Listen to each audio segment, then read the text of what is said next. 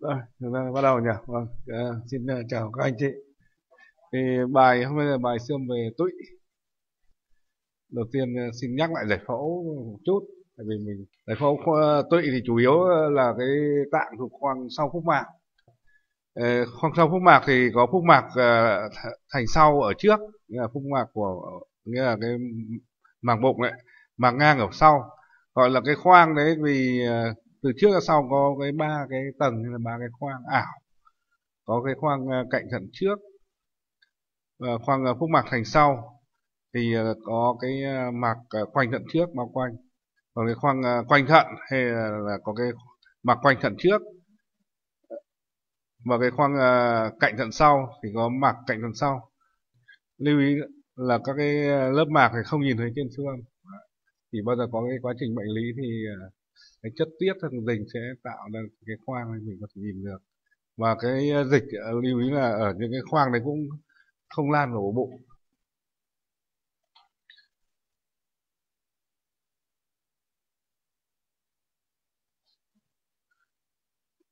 Ờ, đầu tiên thì có cái kể tên những cái thành phần ở trong cái khoang sau phúc mạc. Thì có cái khoang cạnh thận trước thì có tụy. Đấy, như trên hình vẽ là tụy ở trung tâm phía trước của cái ờ, cột sống và ngay sau tụy đấy là những cái mạch máu lớn như động mạch chủ bụng và cái, cái mạch chủ dưới. Đấy thì khoang đây là cái ờ, tụy ở hoàn toàn ở khoang sau phúc mạc ở phía trước đây là ổ bụng. Thành ra quá trình bệnh lý ở, ở tụy là bao giờ cũng phải xảy ra ở khoang sau mạc trước. Xong mới có đôi khi mới lan được vào ổ bụng. Thế à, mình hay gặp trong cái tình huống trong lâm sàng ấy là viêm tụy thì thông thường là không có dịch ở trong ổ bụng đâu, mà dịch ở khoang sau võng mạc ấy. thì cái ờ, trong cái khoang ờ, cạnh thận trước đấy thì có bao gồm có tụy ở giữa, thì hai bên là có cái ờ, đại tràng đại tràng đại tràng lên và đại tràng xuống ở hai bên, đấy. và cái, các cái nhánh, các cái nhánh tạng của cái động mạch chủ bụng như là động mạch mà treo tràng trên, động mạch thân tạng thế thì đâm xuyên vào đây, đi ở giữa giữa hai cái lá mạc đấy và đi vào trong ổ bụng thì người ta gọi là cái khoang ngoài phúc mạc. Đấy. chú ý là có phúc mạc thì là ổ bụng và khoang sau phúc mạc và khoang ngoài phúc mạc là những cái lá tạng uh, bao bọc quanh uh, mạch máu. Còn cái khoang uh, và kể thêm uh, liên quan mật thiết nhất với cả tụy đấy là cái uh, tá tràng. Tá tràng còn cái khoang uh, tiếp theo là cái khoang uh, quanh thận thì có chứa ờ, thận và tuyến thượng thận. Đây đây khoang uh, quanh thận.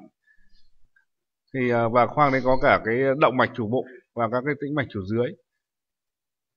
Và cái khoang cạnh thận sau phía sau đây thì chủ yếu chứa mỡ thôi.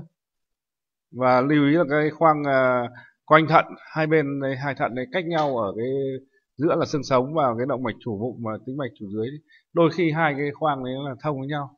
Đấy, thì có thể bệnh lý ở cái khoang ờ, quanh thận hai bên có thể thông với nhau.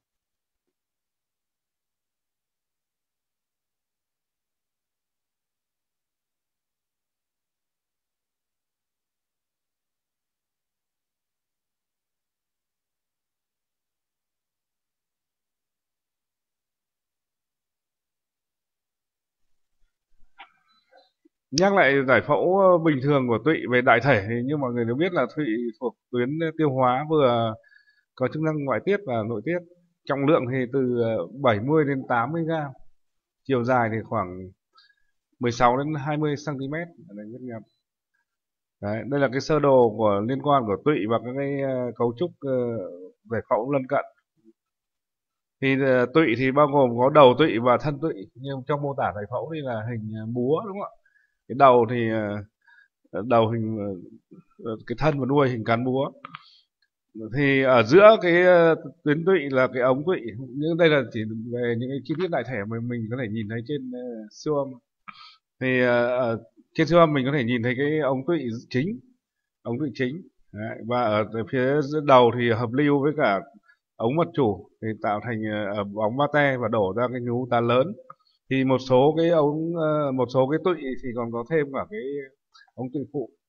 À, thí dụ trong ờ, lâm sàng ví dụ mình gặp không phải mọi những cái nguyên nhân mà gây tắc cái bóng ba te nghĩa là cái, hợp lưu của, của của ống mật chủ với cả cái ống tụy chính là đều có thể gây giãn ống tụy ví dụ một số thì có thể thoát cái dịch tụy để thoát ra cái ống tụy phụ. Đấy, ở phía trên hay gọi là ở cái nhú ta bé tại vì mình ờ, nhắc lại để mình biết một cái cái thuật ngữ bệnh lý ở trong xưa ờ, mới là dấu hiệu ống kép. Nhưng dấu hiệu ống kép là khi mà có cái tổn thương gây chèn ép ở đầu tụy thì thường gây giãn ống mật chủ và giãn ống tụy.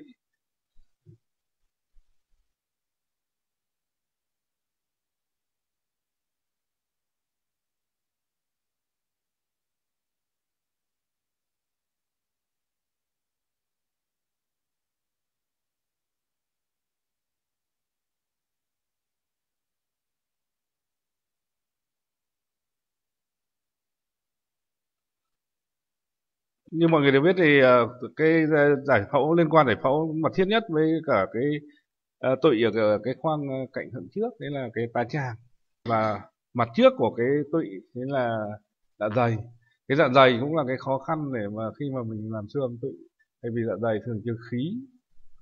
Đấy còn phía bờ bờ phải của tụy đấy là cái D2 tá tràng D2 tá tràng. Và cái bờ trên của cái tụy đấy là cái động mạch lách bờ dưới là cái tính mạch lách. Tính mạch lách là cái cái, cái mốc giải phẫu quan trọng nhất để mình à, tìm siêu âm cái tụy. Đấy, nhất là những người mới làm ấy. Là hoài hoài không nhìn thấy cái tụy đâu à. Vì cái tụy kích thước rất là nhỏ. Thì uh, những cái mốc mạch máu đại thể như thế vậy còn uh, vi thể à, nhỏ hơn thì mình có thể tìm được cả những cái động mạch uh, vị tá tràng động mạch vị tá tràng ở vùng uh, cổ tụy. Đấy. động mạch vị tá tràng ở vùng cổ tụy hay là vùng giữa thân và và đầu tụy ở đây và tiếp theo mình lưu ý một số cái chi tiết mạch máu khác như là ngay ở phía dưới bờ tụy thì thường nhìn thấy bờ dưới của tụy thường thường thấy cái gốc của, của cái động mạch mặc treo tràng trên. Đấy, gốc động mạch treo được có cái mỡ bao quanh hay hình tròn chống âm và xung quanh có viền sáng. Và cái liên quan giải phẫu tiếp theo là cái hệ đại tràng ngang và gắn vào đầu tụy đại tràng ngang gắn vào đầu tụy. Thì đôi khi những cái quá trình bệnh lý ở tụy có thể lan vào đại tràng ngang hoặc là bệnh lý ở đại tràng ngang thì lan vào tụy như ung thư đại tràng ngang thì lan vào tụy Đấy, nhắc uh, sơ qua về giải phẫu uh, của tuyến tụy đấy còn uh, những cái phần uh, chi tiết hơn như là giải phẫu vi thể thì sẽ được nhắc ở cái phần sau.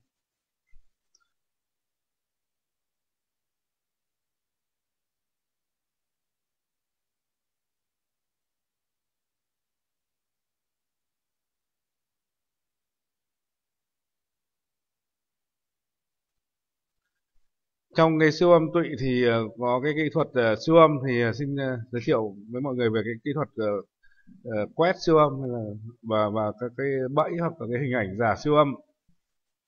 Nhưng mọi người đều biết là cái tụy là cái tạng mà rất là nhỏ và phía sau của ổ bụng. Đấy, mặt trước của tụy bao giờ cũng có dạ dày hoặc là đại tràng ngang nhiều khi che.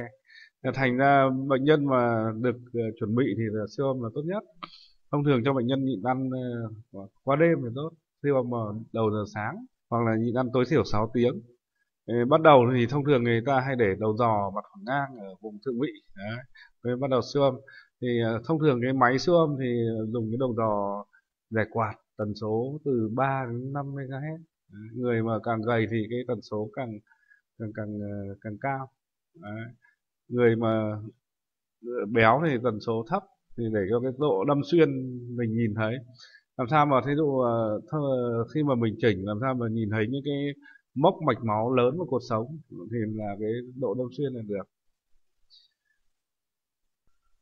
Tiếp theo thì mình, khi mà mình làm siêu âm ấy, tại vì cái tụy là cái tạng mà phía trước là có rất là nhiều khí và khí ở trong dạ dày và đại tràng thì mình phải tạo ra cái cửa sổ âm. Cửa sổ âm nghĩa là gì? Mình dùng những cái tạng hay là những cái ờ, đặc đấy, như mô gan chẳng hạn để mình đâm xuyên cho tốt để cái cái, cái, cái chùm uh, âm xuyên qua tốt. Hoặc là những cái uh, thì thông thường mình lấy cái, cái gan trái làm cửa sổ có thể mặc dù thí dụ cái tụy thì mình để đầu đò hơi vuông góc nhưng mình có thể để, để dịch lên trên cái gan à, gan trái cái phân hủy bên để mình hơi check xuống theo cái tư thế đầu chân ấy thì mình nhìn thấy rõ hơn đấy. Rõ hơn là cái tư mình để trực tiếp thẳng theo vuông góc cái độ ở vùng thượng vị mình để mình để đầu giò hơi cao lên một chút mình check đúng không? Đấy. Đấy hoặc là khi mà mình ờ, để đầu giò ở ngay vùng thượng vị thì thông thường khi mà, mà bệnh nhân gầy mà không ít hơi thì mình có thể xem được trực tiếp với những cái bệnh nhân mà thí dụ bụng chướng hơi tại vì lúc mà làm trong cấp cứu thì mình không chuẩn bị được. Thì bệnh nhân có chướng hơi thì mình hơi ép cái đầu giò ấn xuống ấn xuống để cho cái khí đấy, khí tản ra thì mình mới cái cái ờ, chùm âm mới xuyên qua được mới đến tụy được. Đấy là hai cách đấy. Ờ, đổi khí ờ, hoặc là cái cách thứ ba là khi mà bệnh nhân mà bụng mà trướng quá mà mình muốn xem ở bộ nhất là vùng đuôi tụy mà tại vì vùng đuôi tụy thì có cái dạ dày hay che thì mình cho bệnh nhân uống một cốc nước khoảng 200 ml thôi, đừng có uống nhiều quá. Uống nhiều là không xem được đâu, thì mình cho bệnh nhân uống thì độ khoảng một vài phút sau thì mình mới siêu âm. Mình cho uống luôn xong rồi mình siêu âm thì là những cái bọt vẩn vẩn rất là khó xem. Mình phải để cho cái bọt vẩn lắng xuống đấy thì có ba cái cách để tạo cái cửa sổ âm mà khi mà mình làm siêu âm. Khi mà mình siêu âm tụy. Tiếp theo mình có thể gặp một cái số bẫy. Ờ, một số bẫy như là mọi người đều biết là cái tụy ở rất là sâu ở, sau của bụng thì có thể một số một số cái giả ảnh. Giả ảnh đấy là những cái cấu trúc bình thường mà khi mà mình làm siêu âm mình có thể gây ảnh hưởng đến chất lượng hình ảnh của của cái tuyến mình định khám khám ở đây là tuyến tụy thì như mọi người đều biết là giữa cái gan trái và gan phải có dây chẳng liềm và dây chẳng tròn đấy thì tạo đấy là cái tổ chức sơ. Thì mà khi mà mình để cái đầu giò mà ở giữa đi qua cái dây chẳng đấy thì tạo thành cái vệt đen vệt đen cảm xuống chiếu xuống cái tụy thì có thể gây cản trở đấy. Hoặc là một cái số cái giả ảnh mà mình ờ, về giải phẫu mình không quen ấy thì ví dụ như là ờ, cái động mạch ờ, lách ấy, động mạch lách thì không thể đi thẳng mà động mạch uh, mạch lách thì đi được ngoằn ngoèo tức độ mình cắt qua một cái chỗ một cái, cái đoạn ờ, ngoằn ngoèo ấy, tạo thành một cái cấu trúc chống âm nhỏ nhỏ ấy. thì đầu khi nhiều khi mình cứ tưởng đấy là cái dạng cái kiểu cấu trúc dạng nang ở trong trong, trong tụy ấy. đấy thế là thành ra khi mà mình đã nhìn như thế rồi thì mình bắt đầu mình phải phải xoay cái đầu giò Đấy, di cái đầu giò đi ví dụ như ở đây là cái hình cái tụy tuyến tụy thì hơi tăng âm một chút đấy phía trước có hai đầu mũi tên trống đây chỉ đấy thì ở phía chữ, chữ C đây là cái hợp lưu của tĩnh mạch à, cửa. Đấy thì ở phần đuôi tụy đây thì mình thấy một cái cấu trúc chống âm đây. Đấy thì nhiều khi mình phải sẽ mình đặt đầu đầu vào thì mình nhiều khi giật mình tưởng đấy là cái đoạn đang của tụy nhưng mà thực ra đây là cái động mạch à, mấy động mạch lách. Hoặc là đôi khi những cái động mạch à, động mạch à, động mạch lách ở người già ấy, hay bị cái vôi hóa hay bị vôi hóa thành thì mình nhìn thì mình nhiều khi mình nhầm đấy là những cái à, vôi hóa ở trong tụy đấy, thì thành ra mình cũng phải lần theo những cái cấu trúc giải phẫu.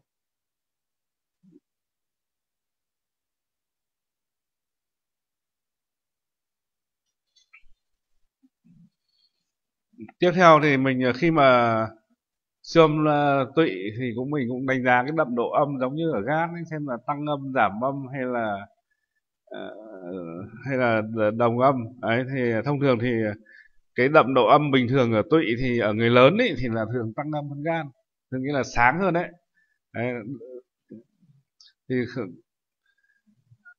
Đấy, khi mà mình biết thế rồi thì một số cái bẫy mình có thể tránh tại vì khi mà cái đậm độ âm của tụy cũng thể gây cho mình cái ấn tượng giả về bệnh. Như đối với một cái gan nhiễm mỡ ấy, thì là cái gan là tăng âm đấy thì đấy khi mà mình so sánh với cả tụy thì mình thấy cái tụy giảm âm ờ, tạo thành cái ấn tượng làm âm giả thứ nhất là trong cái bệnh cảnh mà bệnh nhân mà đau thượng vị mà lại gan hơi hơi như mỡ một chút mà nhìn thấy cái tụy giảm âm thì mình nhiều khi mình nghĩ là cái viêm tụy đó nhưng mà thông thường như thế mình phải so sánh lại mình phải, đấy. những cái hình ở đây minh họa là cái gan là phía trước đấy để tăng âm cái tụy ở phía sau là tạo thành cái giảm âm giả tạo mình ờ, đấy, thì tạo thành cái ấn tượng mình dễ bị gây ra cái luận nhầm thành cái ờ, viêm tụy cấp ở trong cái bệnh cảnh đau thượng vị ờ, tiếp theo cái bệnh thứ hai là cái khi mà cái gan uh, giảm âm giả giả giảm âm toàn bộ ấy. thí dụ ờ, thì lại tạo thành cái, cái ấn tượng là cái tụy lại tăng âm quá à, đấy. thì thông thường thì trong cái trường hợp mà mà như, như là suy uh, suy tim phải đấy, hoặc suy tim toàn bộ thì tạo ra cái gan sung huyết. Thì thông thường cái gan như đấy thì cái đậm độ âm của gan rất là giảm. Thì tạo ra cái ấn tượng là cái tụy tăng âm. Mà tụy tăng âm thì thường hay gặp ở người già như mỡ người hoặc là những cái tụy viêm tụy mạng nên thì lúc đấy mình cũng phải ờ, phân tích và so sánh với cả cái gan.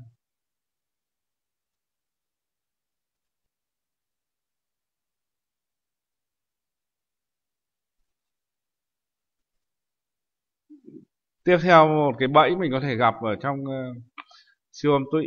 Đấy đấy là cái uh, như mọi người đều biết là về phôi thai ấy, từ thời kỳ phôi thai ấy. phôi ấy, thì là cái tụy có hai nguồn gốc. Một là cái mầm uh, mầm bụng và cái mầm lưng. Đấy hai cái mầm đấy khi mà ở thời kỳ phôi đến thời kỳ thai ấy, tuần khoảng thứ 8 mới hợp nhất tạo thành cái tụy. Thì mầm bụng thì ở, ở vùng uh, uh, đầu tụy vùng bụng ở vùng ờ, đầu tụy và mầm lưng thì tạo thành một phần đầu tụy và thân và đuôi tụy. Thế cái vùng ờ, mầm bụng cái thường là cái vùng ờ, ít nhiễm mỡ hơn so với phần tụy tạo ra từ mầm lưng nghĩa là cái phần thân và đuôi tụy đầu và thân đuôi tụy. Thì cái phần mầm bụng đấy khi mà siêu âm của người lớn ấy thì mình có thể thấy một cái vùng giảm âm một cái vùng giảm âm. Đấy, vùng giảm âm khu trú ở đầu tụy đấy như cái hình ở đây chỉ ờ, là phần giảm âm khu trú. Còn đây là cái phần phôi thai thì là cái mầm uh, mầm bụng và mầm lưng đấy hợp nhất là tạo thành cái tụy ở ở, ở thai đấy đấy thì ở trên siêu âm là cái thông thường cái vùng ờ, mầm bụng đấy là giảm âm thế thì khi mà mình đã thấy một cái vùng giảm âm khu trú đầu tụy thì mình phải bao giờ mình phải phân tích xem đấy là cái khối hay là cái khối hay là cái quá trình bệnh lý khu trú thì thông thường ấy cái khối hoặc là cái viêm ấy thì bao giờ cũng tạo thành cái hiệu ứng khối. Nghĩa là phải đè ép những cái dạng lân cận à, hoặc là cấu trúc lân cận.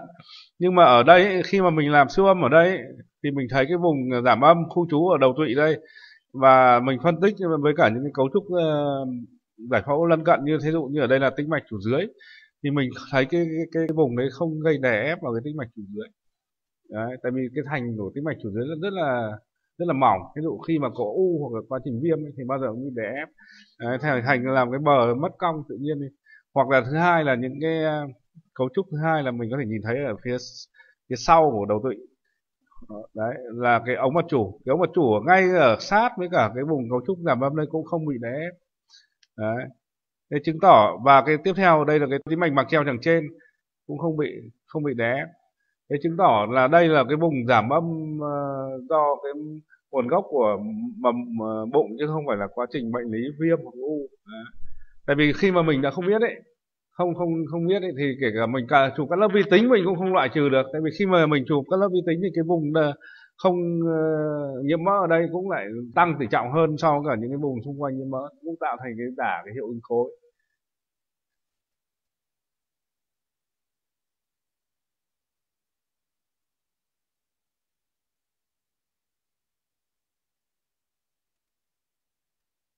Tiếp theo khi mà mình ờ, ờ, đọc giải phẫu siêu âm ờ, tụy tốt rồi thì mình có thể phân tích kỹ hơn. Thì mình có thể phân biệt được cái phía trước của cái bờ giữa thân tụy và đầu tụy là có cái động mạch tá tràng.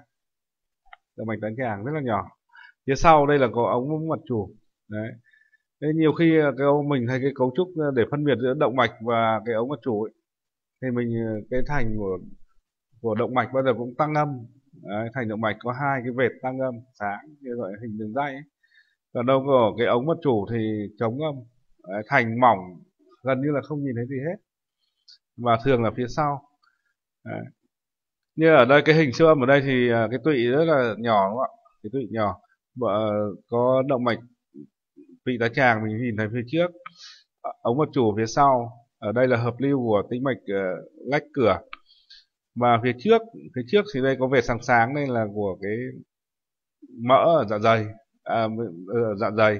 Phía trước đây cùng đây là gan. Đây là trên cái lớp cắt ngang của vùng thượng vị. Đấy.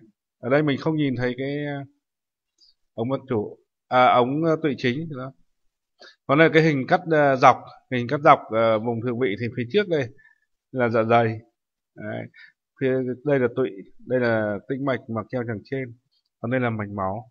Đấy.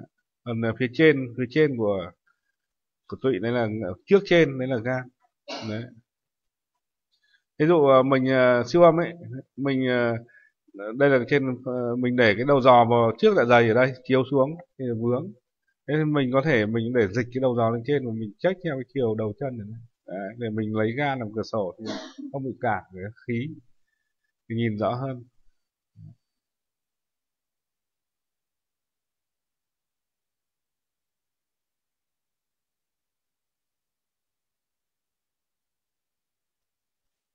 Phân tích uh, cái cấu trúc siêu âm uh, giải phẫu chi tiết hơn ở, ờ, tụy thì thấy có thể uh, thấy cái ống tụy chính ở nhỏ ở giữa hai bờ của tụy chạy song song với hai bờ tụy chạy ở giữa vùng thân và đuôi. Đây là cái cấu trúc chống ngâm Đấy, và có hai cái đường viền tăng âm sáng nhỏ xíu. Phía trước ở đây là là dạ dày nhé cái chỗ mũi tên này là giữa dạ dày và tụy thì thông thường người ta đo cái ống tụy ờ, đo ở cái phần chống âm. Đây cái phần hình. Thì ờ, cái đường kính của cái ống ấy thường là dưới hai ly rưỡi. Và đôi khi đây khi mà mình siêu âm ở đây thì mình nhìn thấy cái ống tụy chính. Nhưng mà giả dụ mình siêu âm lệch lên trên hoặc lệch xuống dưới thì cái ống tụy chính rất là nhỏ. Thì mình lại nhìn thấy cái vệt trống ngầm phía trước đôi khi mình đọc nhầm thành ở đây là cái ống tụy chính và trong cái những cái trường hợp đấy nhiều khi mình đo từ từ đo cái tụy từ đây ra đây thành là cái tụy to. Rất hay nhầm rất hay nhầm với những người mới làm siêu âm mà nhất là làm trong cấp cứu ấy. Và đôi khi mà để khó quá thì mình cho bệnh nhân uống nước để tách ờ, hai cái, cái thành ở đây đấy và tiếp theo cái cấu trúc ờ, uh, xương rất là nhỏ đây mình có nhìn thấy là cái gốc của cái động mạch ờ, uh, mạc treo tràng trên thì bao giờ có cái mỡ sáng sáng ở tụy bao à, qua, à, ở mỡ ở, ở dưới bao quanh đây. Và trong cái quá trình viêm tụy cấp ấy thì những cái dịch tụy có thể lan theo và xóa cái mỡ ở đây. Nó thành màu đen.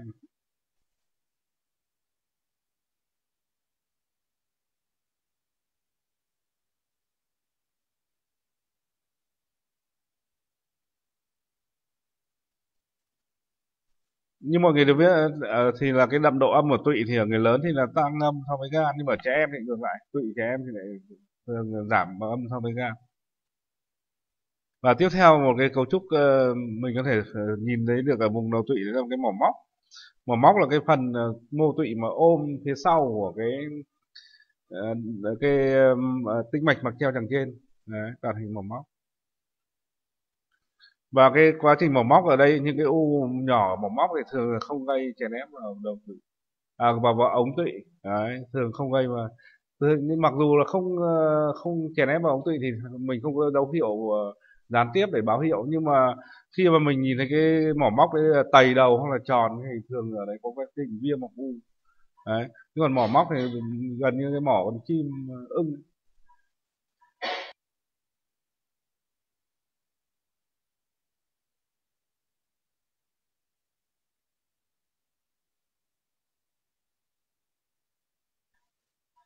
Đấy như mọi người nhìn thấy cái mỏ móc đấy là một chút ở đây.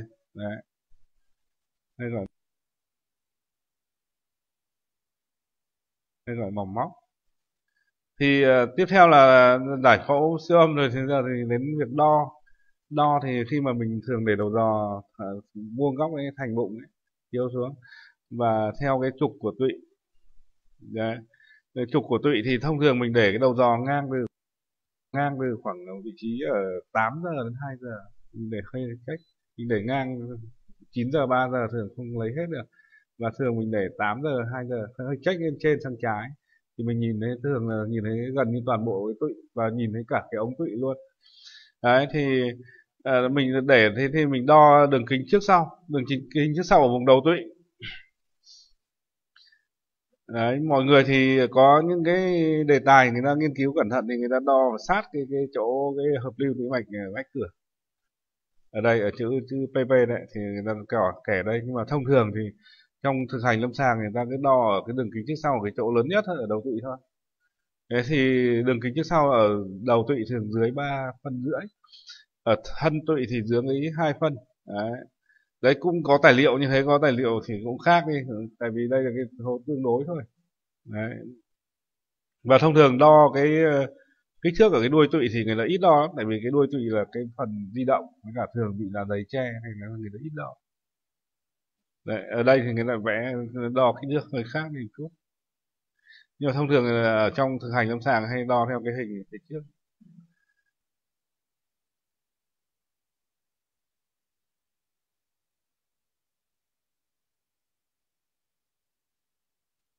tiếp theo là cái cái, cái hình ảnh uh, giải phẫu siêu âm thì thông thường mọi người nhìn cái ờ, người ta để cái đầu dò đầu tiên là ngang ở vùng thượng vị. Đấy ngang rồi và mọi người chú ý ở cái cách cầm đầu giò ra cầm cầm xong để người ta xoay cái cổ tay. Đấy, chứ mình mà chỉ cầm ờ, theo cái kiểu cầm nấu găm ấy thì sẽ mình không làm được. Đấy mình người ta cầm cái đầu giò để người ta xoay cổ tay. Đấy, tại vì mình không những làm ở phía trước của của, của ổ bụng mà mình khi đôi khi phải làm phía bên. Thế nhưng mà nhất là ở thận thì người ta phải hai bên. Ở tụy thế tại vì xương tụy người ta phải tìm cái dịch tụy thì người ta phải tìm cái rãnh thành này cả hai bên thì thành ra cái cầm cái đầu giò người ta thường cầm để xoay cái cổ tay. Đây đây là cái hình minh họa. Thì thông thường ở đây người ta lấy cái gan làm cửa sổ ngăn trái đấy, thì người ta sẽ làm cái chùm âm sẽ đi tốt hơn, thì nhìn thấy gần như là toàn bộ cái tụy gần như toàn. Thì có thưa thông thường ở trong lâm sàng hay bị vướng là một chút hơi ở đây cùng đuôi tụy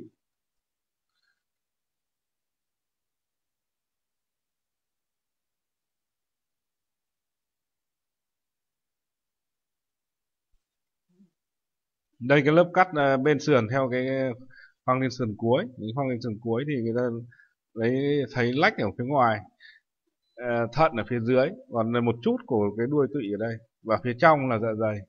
Trong là... Dạ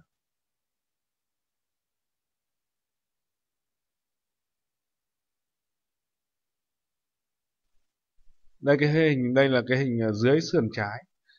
Dưới sườn trái thì ờ, người ta cái chùm âm đi qua dạ dày thông thường với những cái cái, cái, lớp cắt đây thì để người ta tìm để đánh giá cái đuôi tụy thì thông thường phải chuẩn bị bệnh nhân để cho bệnh nhân uống nhiều nước.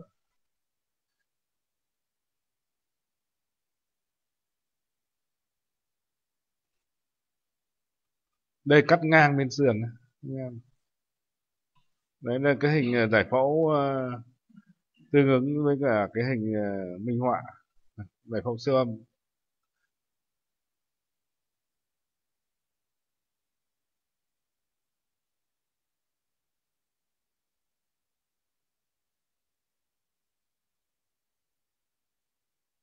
Thì ở đây cắt dọc theo ờ, dưới sườn phải. Thì thông thường ờ, có cái dọc đây là cái D2 cái càng D2 cái càng dọc ờ, dịch vào đường giữa hơn một chút thì mình có thể cắt qua đầu tụy. Đấy, cắt qua đầu tụy thì phía sau thấy tính mạch chủ dưới và cái tụy ở đây. Ở đây cũng trên cái hình tương ứng đấy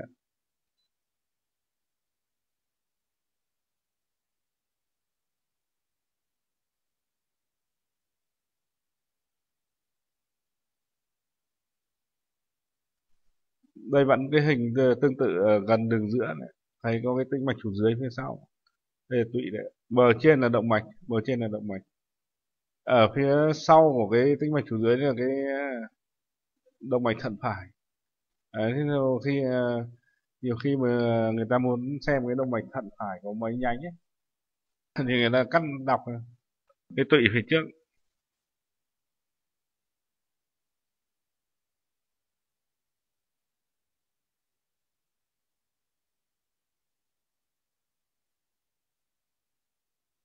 đây cái, cái hình hình à, hình này khá hay đấy. Hình đây là mình cắt dọc qua đầu tụy thì là ở phía sau đây là cái mỏ móc. Đấy cũng một phần đấy khi mà mình tại vì mình cắt qua cái đây thì cái tĩnh mạch à, tĩnh mạch cửa chia đôi cái phần à, đấy ra. Phần trước và phần sau đấy thành ra hai phần không liên kết lại. Nhiều khi mình hay bị nhầm cái phần sau là hạch. Đấy mình thấy cái hình dài dài hình thoi đây nhiều khi tưởng hạch. Đấy với những cái hình đây thì mình nhớ là cái đậm độ âm mình để không chuẩn ấy, thì thấy rằng chiếc sáng đằng sau hơi tối tối như đường đây là hạnh. Mình phải quay ngang lại xem có đấy là đúng là móc không?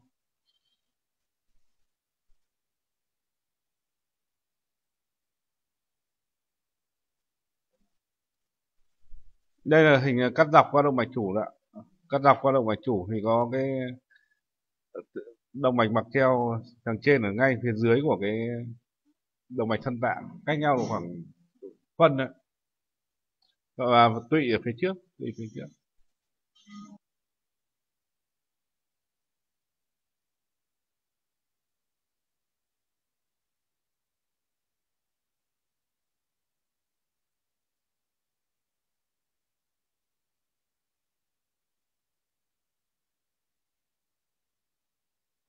Đây cũng thấy cái hình vẫn cắt dọc như lệch sang bên uh, dưới sườn dưới sườn trái. Đấy, dưới sườn trái.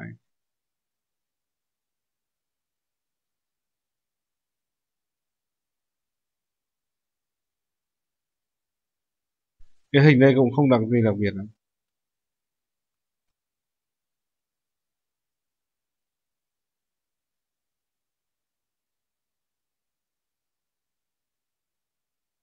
đề căn ngang ờ, ví dụ mình ờ, để đầu dò ngang ở vùng thượng vị hoặc hơi lệch sang phải một chút thì mình chỉ nhìn thấy một phần của đầu tụy thôi một phần của đầu tụy.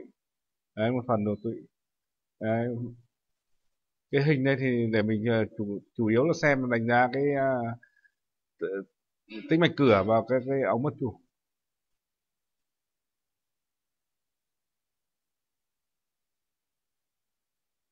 Cái hình đây thì vẫn thế thôi hơi thấp hơi dịch xuống dưới hơi dịch xuống dưới.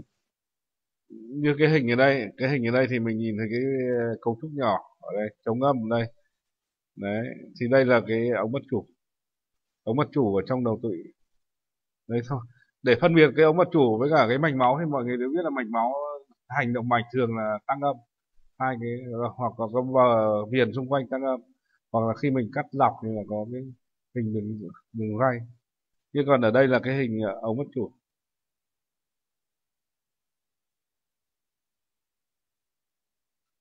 Cái hình này cắt ờ, qua động mạch thân tạng đấy hình động mạch tạng hình con chim hải âu đấy, đúng không? ở phía sau đây là chống âm đây là động mạch chủ. Đấy, đây là động mạch thân tạng. Còn cái cánh bên phải động mạch ngang chung cánh bên trái là động mạch lách.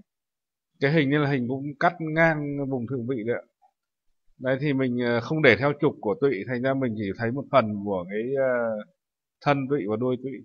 Ở phía trước đây hình trắng trắng đây là hình dạ dày đấy còn đây phần đuôi tụy ở phía trên đây mình nhìn thấy bị cảm âm rất là nhiều rất là kém.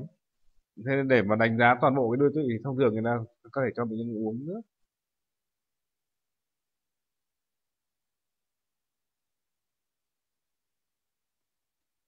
Đây cái hình đây thì cũng tương đối là gần lấy được toàn bộ cái tụy đấy. Ở trong thực hành lâm sàng mà mình hay gặp cái hình đây. Đấy thì mình thấy một phần của cái ống tụy chính ở, ở vùng thân phía sau đây là cái động mạch mặc keo chẳng trên và có mỡ bao quanh. Phía ngay sau tụy à, ngay sau bờ dưới của tụy đấy là cái uh, tĩnh mạch lách và hợp lưu tĩnh mạch lách cửa. Đây đây chính là cái mốc để mà siêu âm tụy đấy. đấy đối với những người mới làm mà chưa tìm được thấy được tính mạch lách thì là nhìn ra phía trước đấy là tụy hoặc là hơi dịch lên trên một chút là tụy. Phía sau của cái đầu tụy đây là cái tĩnh mạch chủ dưới. Nên cái mỏng móc ở đấy.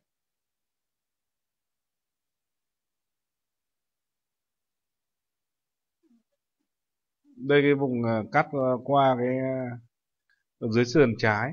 Dưới sườn trái để xem thông thường để xem đuôi tụy xem động mạch động mạch lách. Đây là cái phần cắt vùng khu trú ở dưới sườn trái để xem đuôi tụy. Thì cái dạ dày bệnh nhân đây là dễ xem bởi cái dạ dày bị lệch ra ngoài. Nhiều bệnh nhân đa số bệnh nhân là thường ở phía trước. Đấy, thành ra che khuất cái đuôi tụy. Đây cái hình đây khá đẹp là nhìn thấy gần như toàn bộ cái đuôi tụy. Đấy ở phía sau đây là cái tĩnh mạch lách ở đây vẫn tính mạch lách làm làm cái mốc để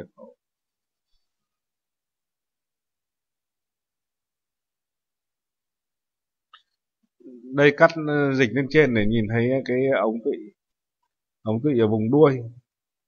Cái vùng đuôi tụy là vùng hay à, trong thăm khám hay bỏ qua nhất, nhưng mà đuôi tụy là cái phần u tụy cũng hay hay gặp.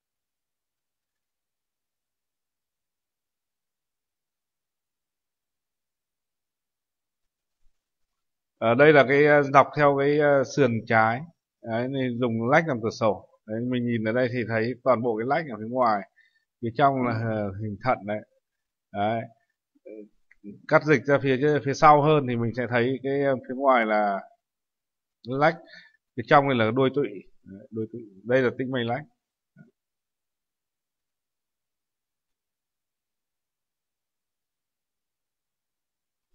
cái hình đây mình cũng hay gặp đấy là mình khi mà mình cắt dọc mà ra trước quá thì ở phía ngoài là là, là, là lách. Phía trong là dạ dày. Nhiều khi ờ, khi mình làm cấp cứu mà không quen thì mình cắt ra phía trước quá thì mình thấy cả đấy một cái ổ dịch nhất là trong cái trường hợp cấp cứu ấy, mình nhiều khi mình tưởng nó tụ máu ấy. không quen. Đấy, tại vì nhiều khi cái dịch dạ dày thông thường có khí hoặc là hơi, hơi có cái vẩn âm nhưng mà có những bệnh nhân người ta uống hay đi uống rượu nhiều thành ổ to tướng ấy nhiều khi mình cứ tưởng là tụ dịch.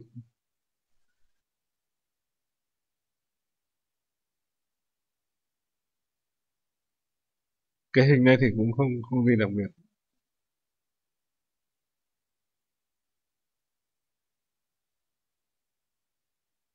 Đấy đây cái hình đây là hình tốt nhất mà bộc lộ cái à, uh, tụy đấy là mình à, để cái đầu dò check Ờ, từ khoảng ờ, 9 giờ đến 2 giờ hoặc 8 giờ đến 2 giờ, đấy. Nhưng là mình nhìn thấy gần như toàn bộ cái tụy nhìn thấy, và thấy cả gần như toàn bộ cái ống tụy đấy. đấy, nên là cái hình khá tốt. Nhìn thấy cả thân tụy đầu tụy thân tụy và đuôi tụy và ở cái hình này chú ý là người ta cũng ờ, hơi dùng cái gan trái làm cửa sổ để người ta tránh cái khí ở dạ dày đó.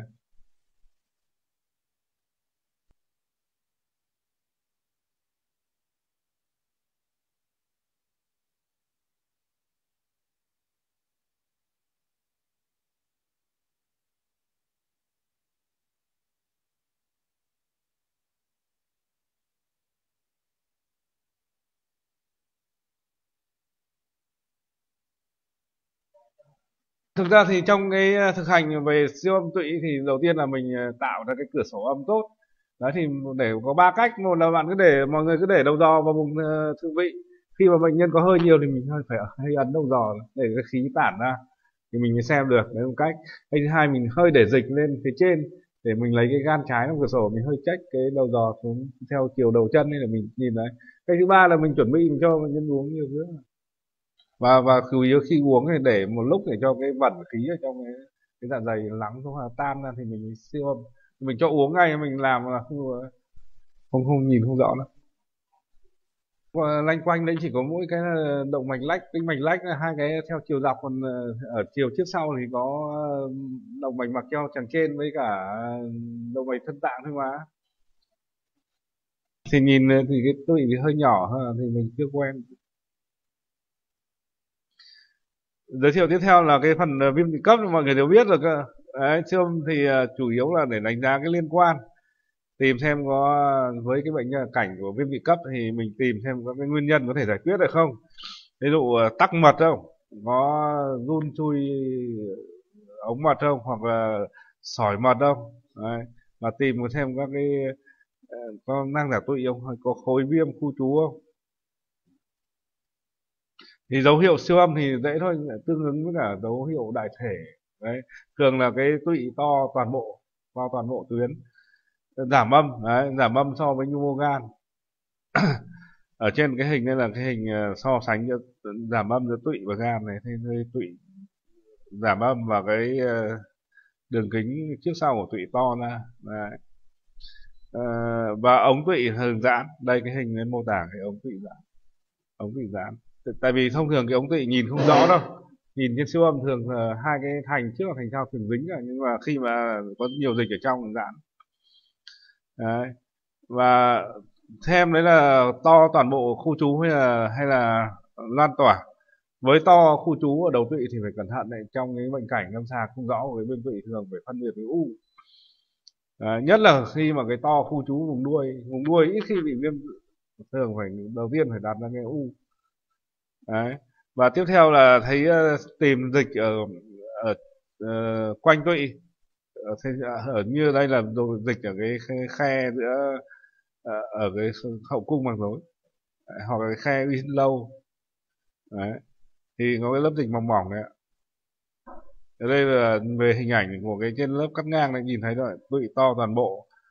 Đấy, vùng đầu thân đuôi và giảm âm giảm âm ống tụy giãn tịch quanh tụy cái hình ảnh đấy là đặc trưng của cái viêm tụy cấp.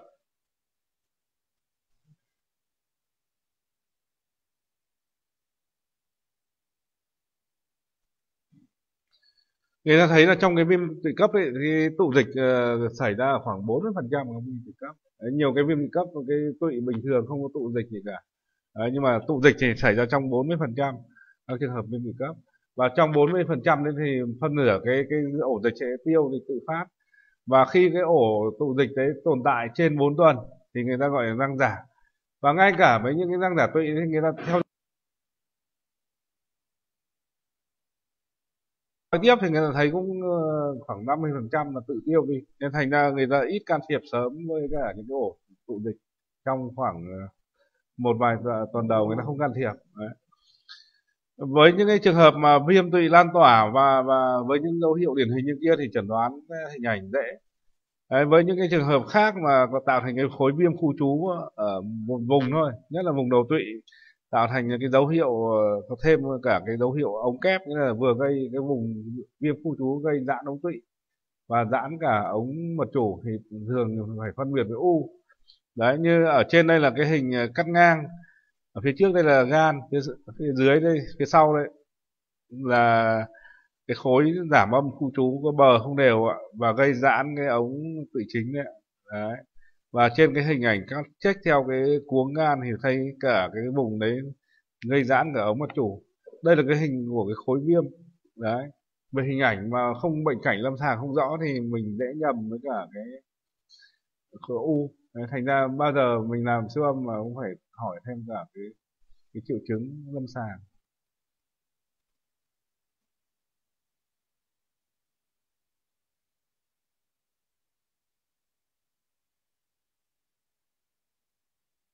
Tiếp theo thì uh, các cái biến chứng của cái viêm tụy cấp như mọi người đều biết thì đều hay gặp nhất là cái năng giả tụy. Thứ hai là có thể gây uh, tắc nghẽn à, tá tràng của đường mật đấy có thể cái uh, năng giả tụy bóc tách vào các cơ quan cái cận. Hoặc là xuất gây xuất huyết ờ, tiêu hóa. Nguyên nhân thì có thể ờ, ăn mòn trực tiếp hoặc là chảy máu tĩnh mạch. Cái viêm tụy cấp mà không có thể gây viêm phúc mạc thì thường ít lắm. Với những trường hợp đấy thì thông thường những cái dịch tụy và gây đục thủng cái phúc mạc thành sau mới lan được vào ổ bụng. Đấy với những và có thể gây viêm tụy mạng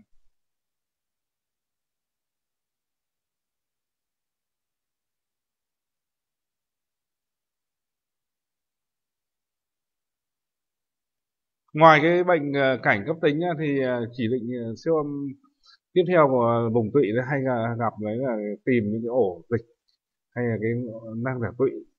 Những cái năng giả tụy đấy chính là các cái ổ dịch mà có vỏ hoặc thành sơ mà tồn tại sau cái đợt viêm cấp trên 4 tuần thì người ta gọi là năng giả tụy. Vị trí thì thường ở quanh tụy nhưng mà chú ý là cũng có thể ở trong hoặc xa hơn có thể ở, ở trong lách có thể ở trong gan hoặc là dọc theo ờ, phía sau của khoang sau phúc mạc đấy. Ờ, và thông thường cái ổ tụ dịch đấy thường có cái mảnh lắng ờ, đấy là những cái mảnh hoại tử hoặc là chảy máu. Và chính những cái, cái, cái thành phần đấy thường có thể gây uh, nhiễm khuẩn bội nhiễm và gây uh, viêm. Uh, thông thường thì những cái đấy là hay gặp và mình phải phân biệt với cả những cái năng giả tụy đơn thuần hoặc là những năng nhiễm khuẩn. Đấy hoặc áp xe thì thông thường có thể chọc hút những cái đấy.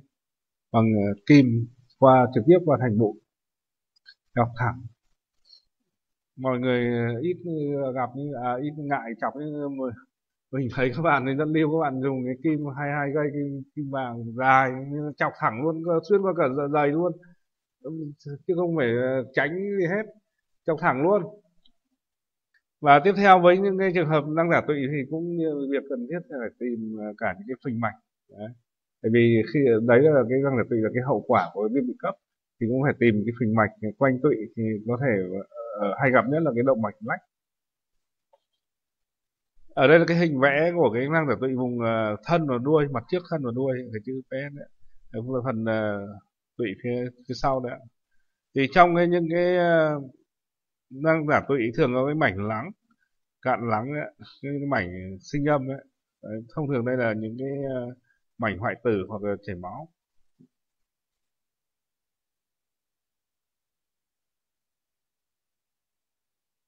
Bây giờ mình ờ, đặt ờ, trong lâm sàng mình phải đặt ra cái thời điểm chọc hút của những năng giả tụy. Đấy thông thường như mọi người đều biết là đa số những năng giả tụy nó thường tiêu đi. Đấy mình chọc sớm quá thì thì thì cũng nhiều khi cũng ờ, không có ích nhiều lắm.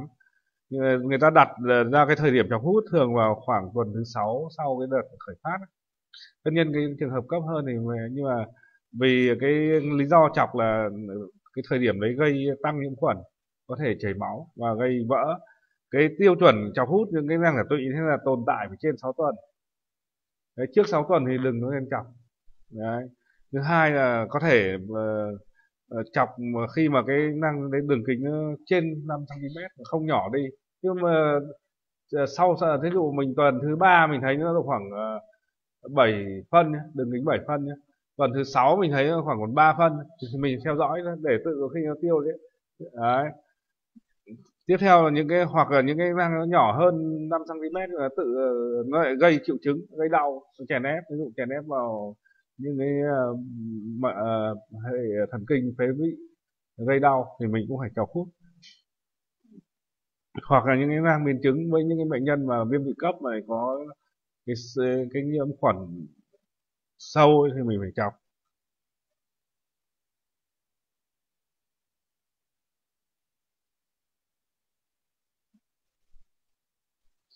tiếp theo cái bệnh cảnh thứ ba ở trong cái viêm tụy mình ờ, hay gặp đấy là cái viêm tụy mạng.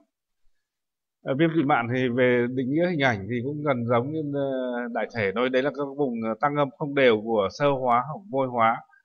Và khi với cái sơ hóa đấy thì gây tuyến teo. Đấy, gây teo tuyến tụy tụy rất là nhỏ. Bờ mờ do cái quá trình thâm nhiễm mỡ nhiều đợt.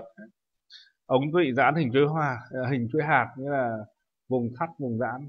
Đấy, hình chuỗi hạt này do cái những cái tổ chức sơ. Đấy và trong cái viêm tụy mạn người ta có thể gặp năng giả tụy ở khoảng 25 đến 60 phần trăm của bệnh nhân. Và trong cái viêm tụy mạn này hay ờ, khó khó chẩn đoán nhất là ờ, viêm ờ, khu trú với cả u. Đấy. Và những cái vùng viêm khu trú ở trong cái viêm tụy mạn hay gây tắc ống tụy đấy. Như cái hình ở đây minh họa là cái hình cắt dọc. Uh, cắt dọc tụy thì cái phía trên là cái gan phía dưới sau dưới đây là cái tụy thì cái ống tụy rất là giãn. Ống tụy giãn. Và cái nhu mô tụy là có những cái chấm môi hóa nhỏ nhỏ. Nhỏ nhỏ. Còn đây là cái hình à, của bệnh nhân khác cắt trách vùng cửa gan thì thấy cái năng giả tụy nó gây giãn ống bất chủ. Đấy, gây giãn ống bất chủ. Và tiếp theo cái hình à, ở dưới đây là mô tả cái hình ổ viêm khu trú ở trong cái viêm tụy mãn ổ viêm khu trú đây có đặc điểm là trong đây có nhu mô và những cái chấm bôi hóa nhỏ nhỏ. Đấy, chấm tăng âm đấy. với những cái ổ viêm khu trú mà không có cái chấm môi thì thường phải đặt ra vấn đề là u. Chẩn đoán phân biệt với u. Và trong cái viêm tị mạn ấy người ta có thể gặp từ 5 đến 10 phần trăm là có tắc ống mất chủ.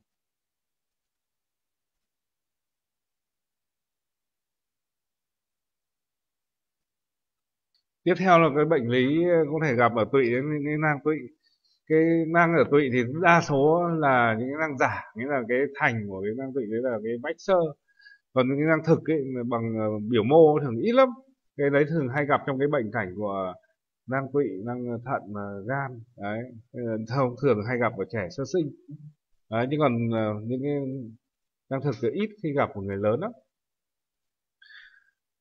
À, tiếp theo là một cái ờ, bệnh cảnh có thể gặp ở trong tụy mà người ta hay đặt ra là u tụy. U tụy thì hay gặp nhất là ung thư biểu mô ung thư biểu mô. Nhưng mà gọi là hay gặp nhưng mà cái tỷ lệ ung thư tụy cũng hiếm lắm ung thư tụy hiếm. À, thông thường thì cái uh, ung thư tụy về mặt hình ảnh ấy, đấy là những cái vùng uh, giảm âm mà gây to tuyến khu trú ví dụ ở đầu tụy hoặc là thân tụy hoặc đuôi tụy và cái bờ của cái vùng giảm âm hoặc cái khối đấy thường không rõ, do cái khối đấy thâm nhiễm mỡ. Và 70% cái ung thư biểu mô thì ở vùng đầu tụy và ở vùng đuôi, mặc dù ít nhưng mà ở vùng đuôi là khá đặc trưng khi mà ta thấy một cái tổn thương khu trú giảm âm vùng đuôi tụy, đầu tiên bao giờ phải, ở nhất là người có tuổi bao giờ phải nghĩ đến u trước vùng viêm. Tiếp theo những cái ung thư biểu mô của tụy thì có thể gây ra cái dấu hiệu ống kép như là cái khối u thông thường ở vùng đầu tụy. Đấy. Tại vì 70 phần trăm cái u đấy ở vùng đầu tụy thì gây ra cái triệu chứng là giãn ống mật chủ và giãn cả ống tụy chính. Như như mọi người đều biết là trong uh, dấu hiệu ống kép cũng chỉ cho có được khoảng trong khoảng 2 phần 3 trường hợp những bệnh nhân có u ở đầu tụy thôi. Tại vì sao? Tại vì ờ, khi mà cái tắc ở cái vùng ờ, đầu tụy thì cái tụy còn có có thể có cái ống tụy phụ nên thành ra mình nhiều khi mình chỉ nhìn thấy dấu hiệu tắc của cái ống mạch chủ.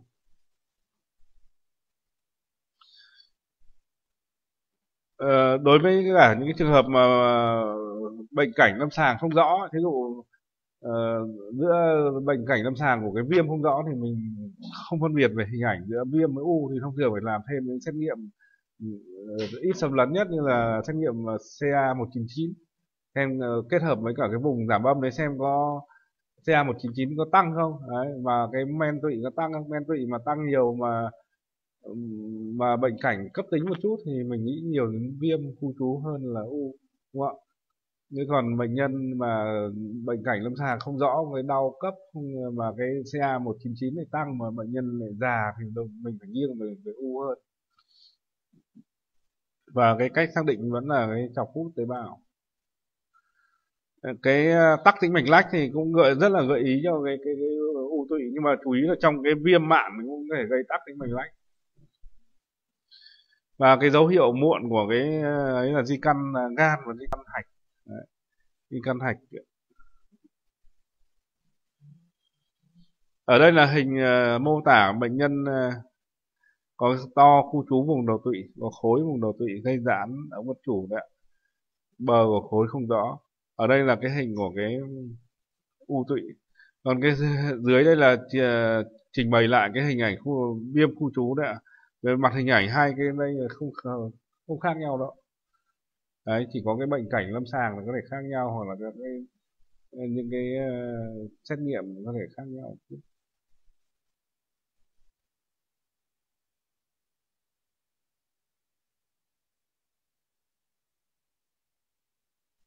Đây đây giải thích cái dấu hiệu ống kép đó thì ờ, có thể gây ờ, gây chèn ép vào ở vị trí bóng ba te gây tắc gây giãn ống tụy chính và gây giãn ống mất chủ phía trên.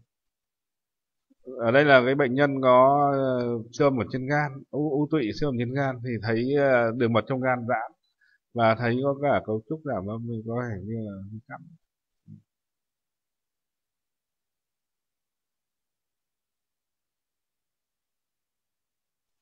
Ờ, trong uh, u tụy thì hay gặp ờ, di căn uh, gan hoặc di căn hạch. Nhưng mọi người đều biết là cái bạch huyết uh, bạch huyết ở quanh tụy rất là nhiều đặc biệt là giữa vùng giữa cái gọi là cái gọi là gọi là cái rãnh tá tụy rãnh tá tụy.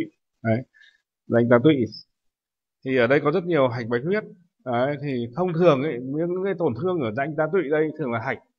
Đấy mình đôi khi mình hay nhầm ở đây với cả cái u cái cái rãnh tá tụy đấy rất là đặc biệt. Đấy là cái rãnh có cái mô liên kết mỏng giữa uh, giữa, giữa tụy và ta và, và, và tá tràng. Ở cái vùng đấy lại trong người ta có cái thể gọi là thể viêm tụy rãnh hay viêm tụy khe ấy, thì, thì cái tụy do cái qua trong quá trình phát triển phôi ấy, thì là lạc chỗ vào cái khe đấy thì viêm tụy này chỉ xảy ra cái rãnh ấy thôi. Không liên quan gì đến tụy cả. Đấy người ta gọi là cái thuật ngữ là viêm tụy rãnh viêm tụy khe đấy thì chỉ, chỉ xảy ra ở đây thôi. Cái đấy thì trong lâm sàng thì hơi khó chẩn đoán. Nhưng là bệnh bệnh nhân có cái bệnh cảnh của cái viêm tụy ờ, cấp có đau có xét nghiệm có men tụy tăng nhưng mà ờ, về mặt hình ảnh thì chỉ có thấy hơi hơi dày của cái cái cái cái cái rãnh đấy ờ, cái rãnh tá tụy đấy. Thì thông thường siêu âm thì thường bỏ qua khi mà mình không biết. Nhưng mà thông thường trong chụp cổng từ hoặc là chụp các lớp vi tính thì mình có thể thấy cái dịch ở đấy.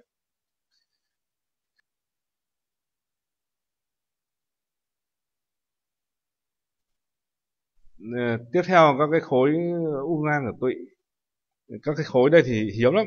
Thông thường như cái ung thư tụy thì cái tỷ lệ phát sinh là một phần trăm nghìn. Nhưng mà những cái khối u nang ở tụy chắc nó phải một phần một vài trăm nghìn tỷ lệ phát sinh. Siêu âm ở đây mình làm siêu một ngày mấy trăm bệnh nhân mà ít lắm. Ờ. Đấy, thì ờ, các cái khối u nang của tụy có hai loại. Là u nang tuyến nhầy và ung năng tuyến thanh dịch đấy đầu tiên là giới thiệu cái ung năng tuyến nhầy. Hay gặp ở cái bệnh nhân ờ, lớn tuổi nữ giới. Và cái u đấy hay ở vùng đầu tụy đấy. Cái hình cái ảnh cái u đấy như, như là cái hình tổ ong ấy, nó rất là cái nhiều cái hốc dịch nhỏ đâu một đến hai mm thôi đấy.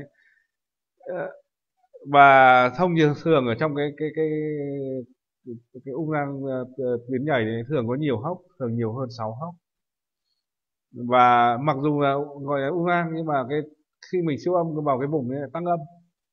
Đấy, tăng âm. Tại vì sao? Tại vì khi mà mình siêu âm như giống như kiểu cái u máu ấy, nó có nhiều cái hốc dịch nhỏ mà khi chùm siêu âm của mình ấy, đến mỗi một cái mặt giao diện thì mới bị phản âm lại. Đấy là tạo ra thành cái hình tăng âm. Đấy thành, thành ra mặc dù gọi u tuyến năng thanh dịch nhưng mà siêu âm có thể là thấy một cái khối tăng âm đầu tụy đấy và đôi khi mình có thể gặp cái sẹo trung tâm ở, ở trung tâm và đây là cái hình à, cái khối ở vùng đầu tụy có nhiều cái hốc nhỏ hay nhiều cái ngăn nhỏ một hai ly đấy. ở cái bệnh nhân đây là nữ giới 79 tuổi u tuyến thanh dịch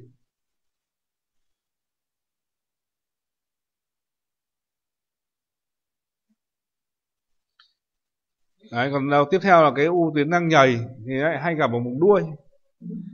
Đấy, u tuyến răng nhầy thì gặp vùng đuôi thì có một hoặc là nhiều cái răng dịch uh, uh, có thành ờ, dày hoặc mỏng. Và thông thường chỉ có trong cái u đấy thường có 6 cái hốc thôi dưới 6 cái ngăn thôi. Đấy như cái khối đây là một giảm âm vừa đặc vừa dịch thì đây có cái hốc thường nó to ở dưới sau hốc. Ngược lại với cả u tuyến thanh dịch. Đấy. u tuyến thanh dịch đây thì không ác tinh hóa. Còn nếu u tuyến nhầy ở đây thì có thể ác tính hóa nhất là khi mà mình thấy những cái thành của những cái năng dịch nó có những cái sùi bụng sùi. Đấy như cái hình ở đây là bệnh nhân người ta được uh, chuẩn bị rất là tốt. Người ta uống uh, đầy dịch cho dạ dày. Đấy, cái dịch rất là trong. Đấy. thì người ta siêu âm thẳng ở dưới uh, qua cái bờ dưới của cái hạ sườn trái đi qua dạ dày. Đấy, người ta nhìn thấy khối vùng đôi vị. Đấy, khối có mũi tên chỉ đấy. Khối này vừa đặc vừa dịch đấy, phần đặc ở đây và phần dịch ở đây. Phần dịch là chống âm. À, phía đây là phần đuôi tụy đúng không ạ? Đuôi tụy. Nhưng mà bây giờ mình làm sao mình phân biệt phân biệt được đấy là bộ khối của đuôi tụy hoặc là khối ở cạnh cạnh tụy? Làm sao mình biết được?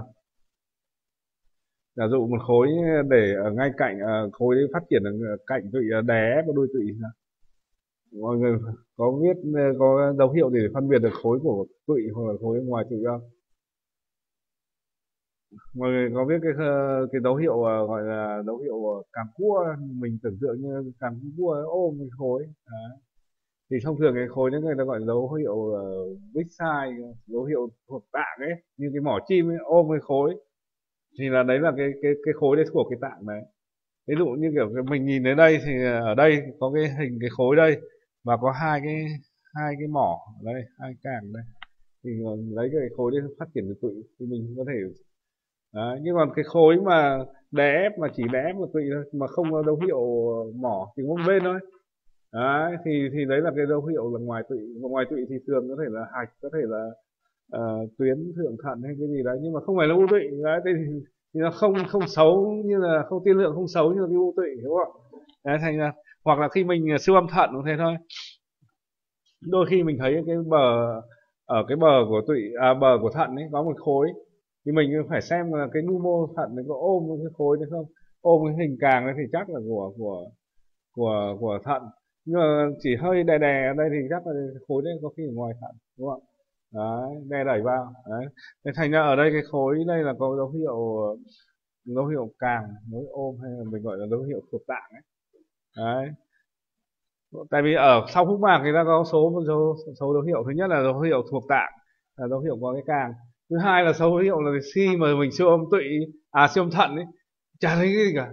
Chỉ thấy một khối to tướng ờ, gọi là dấu hiệu tạng ma, nghĩa là cái tạng nó biến mất rồi đấy, thay vào cái hố thận, là một cái khối, tại vì cái u thận nó to mà. Đấy, là toàn bộ cái thận mất rồi, người ta gọi dấu hiệu tạng ma. Đấy còn đây là cái dấu hiệu về dấu hiệu thuộc tạng. Đấy. Khi mà mình siêu âm thận đến đây chỉ áp dụng cái tạng đặc thôi nhá tạng uh, ống tiêu hóa không không áp dụng được cái dấu hiệu thuộc tạng. Đấy, dấu hiệu tầng cua. Đấy.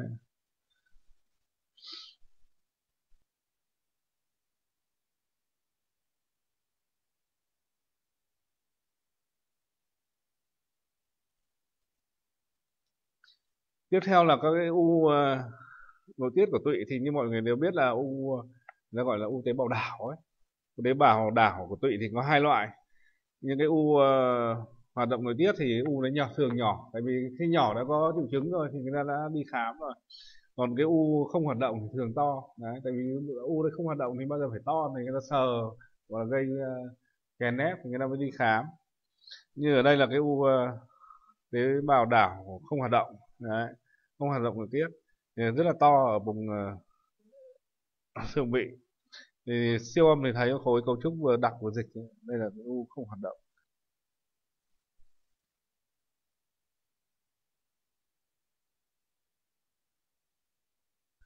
Đấy, còn cái u ờ, hoạt động.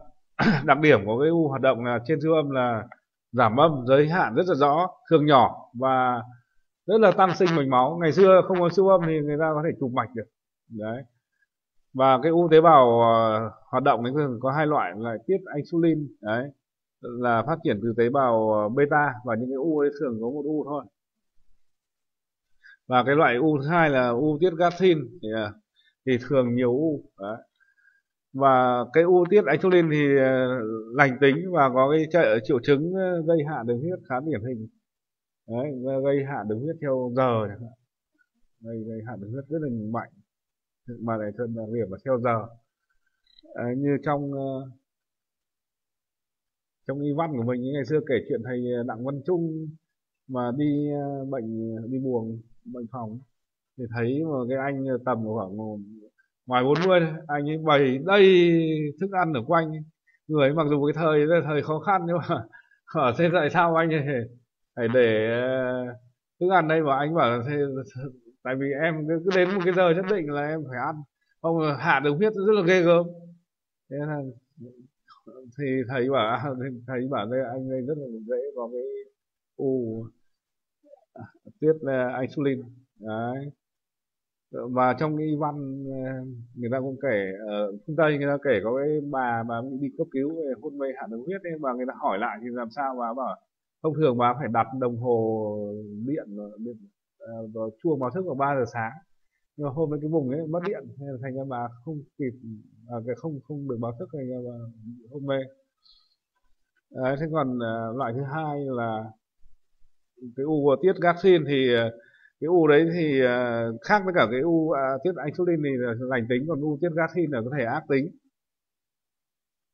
Và với những cái u tiết gaxin thì, thì bao giờ gaxin thì bao giờ cũng cái cái dịch pH dạ dày thường thường phải dưới 3 cái dịch pH dạ dày mà trên 3 mà nghĩ đến u tiết ờ, gác trên là không có hầu như không có.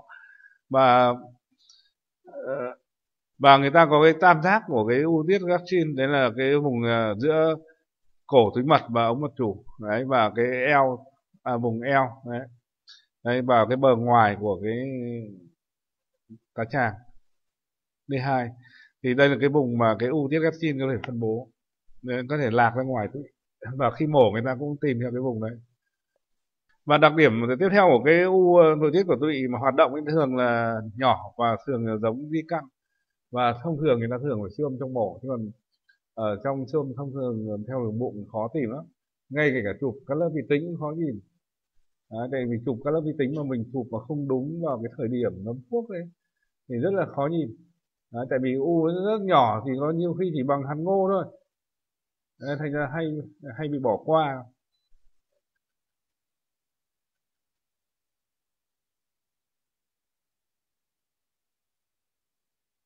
Và tiếp theo giới thiệu mọi người các cái loại u khác. Ờ, có thể gặp là u uh, u tế bào uh, lympho ở tụy nhưng mà cái u đấy thường ít tại vì cái, cái tuyến tụy là ở trong bản thân cái tuyến tụy thì rất là ít cái tế bào bạch huyết. Nhưng mà ở ngoài quanh tụy thì là rất nhiều hệ bạch bạch từ nhận từ gan xuống nhận từ dạ dày thành ra u lympho nguyên phát ở tụy ờ, hiếm lắm.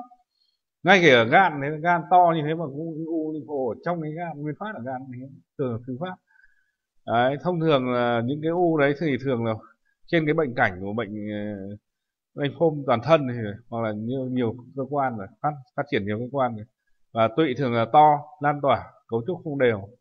Đấy, về hình ảnh thì cũng không có gì đặc trưng cả. Đấy, nhưng mà siêu âm thì thấy tụy to lan tỏa.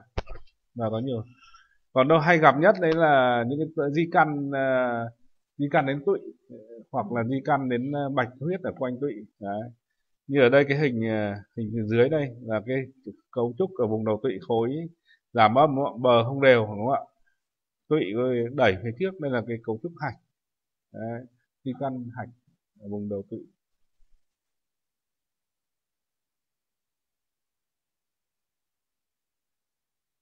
tiếp theo có thể giới thiệu các loại u khác, nhưng mà thực ra rất là hiếm là u nguyên bào tụy. Những cái u nguyên bào thì hay gặp ở trẻ em, dưới 10 tuổi. Ờ, khối thường lớn tại vì không ờ, thường ít triệu chứng và cấu trúc âm thường không đồng nhất. Đấy đôi khi mà có cả bôi hóa ở trong chứng tỏ khối u phát triển rất là lâu như cái hình này một khối rất là lớn ở vùng uh, tụy. Và phía trong có cả bôi hóa như chấm bôi có cái bóng cảm tăng âm của bóng cảm. À, tiếp theo có thể giới thiệu một cái khối u ờ, đặc giả nhú thường ở trẻ em ờ, trẻ gái tuổi dậy thì. Đấy khối lớn mà có vỏ sơ tăng âm. À, khối lớn tụy và bên trong này có thể cấu trúc đặc hoặc là một vài cái hốc dịch nhỏ.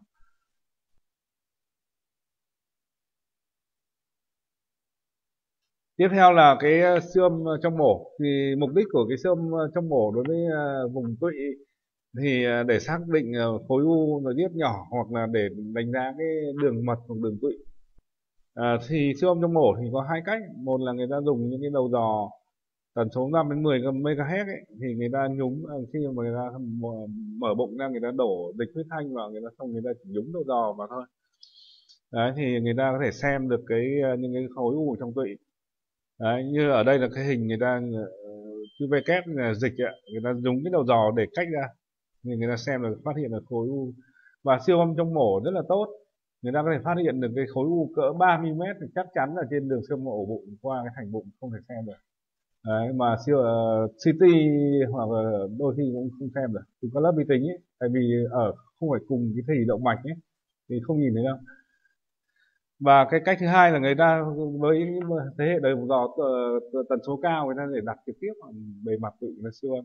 Đấy đây là cái hai cái cách siêu âm ở trong tụy cái bài siêu âm tụy đến đây là hết tại vì ờ, giới thiệu chủ yếu là những cái tổn thương bệnh nội khoa thôi còn ví dụ chấn thương tụy hay thì về về mặt cơ bản bệnh học thì là có cái bệnh cảnh của cái ờ, chấn thương và có tụy có thể to và có thể cấu trúc giảm mâm, khi mình làm quen với cả triệu chứng thì mình có thể siêu âm cấp cứu được không khó. Hoặc là uh, run chui ống mật thì gây viêm tụy thì cái đấy mình cũng làm quen thì cũng không khó đúng không ạ.